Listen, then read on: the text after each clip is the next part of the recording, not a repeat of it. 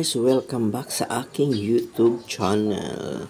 For today's vlog, ayan, may naka-prepare tayo dyan. mga Ricardo.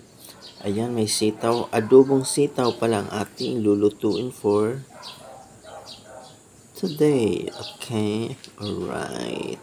Ayan, may sitaw tayo dyan. May nakagaya tayong konting pangsahog, sibuyas, ayan, paminta toyo, suka, adobong sitaw ang ating menu for today.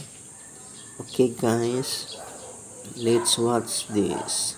Thank you so much. Magsimula na tayo. May nakasalang tayo dyan. Kawali.